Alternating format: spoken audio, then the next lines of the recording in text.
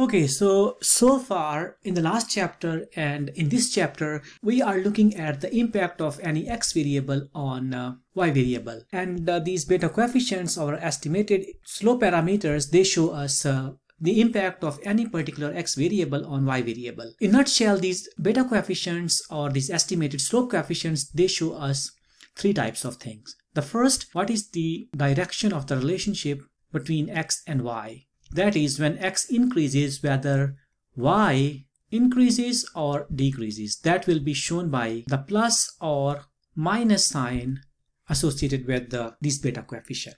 So that will be the direction of the relationship. The next thing that they show, they show the magnitude of the relationship. That is when x increases by one unit, how much y increases or decreases. That is shown by the value of this beta coefficient. And the third thing that this beta coefficient shows that whether the relationship between x and y, it is statistically significant. So this is the summary of uh, whatever we saw so far.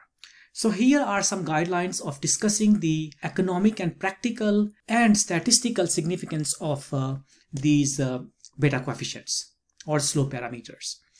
If the variable is statistically significant, then you should go ahead and start talking about their magnitude, talk about the direction of the relationship, and talk about the practical importance of uh, x variable in determining the y variable. One thing to note here is that uh, statistical significance alone, it does not give you how important x variable is in determining y variable or how large is the impact of x variable on y variable. Even if a variable is statistically significant at 1%, then it doesn't mean that it has uh, an important and uh, large impact on y. That's number two. Sometimes you will see that a variable is statistically and economically important but has a wrong sign. For example, we all know that as education increases, wages should increase as well. So we expect this relationship to be positive if you find a relationship that education is having a negative effect on um, wages, you will find a wrong sign here. It means that your model is uh, misspecified and you have to look into your model. On the other hand, if a variable is statistically insignificant at uh, 10%, 5% or 1%, one may think about dropping that variable from the model but uh, sometimes you can still talk about uh, the expected sign of uh, that beta coefficient. So these are the usual uh, level of significance or alphas that we uh, use.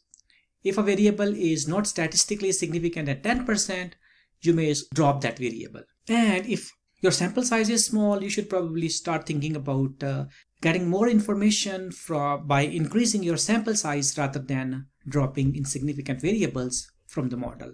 So these are a couple of guidelines for interpreting uh, these uh, beta coefficient and essentially that was the point of this whole class that I wanna see what is the impact of or the causal impact of any particular x variable on y variable which can be discussed using these three points. The first is the direction of the relationship between x and y. Number two is the magnitude of the relationship. And number three is the statistical significance of uh, that relationship. In the next video, I'm going to show you two examples uh, where you will see that sometimes uh, a statistically significant variable is not economically significant and sometimes economically significant variables are not statistically significant.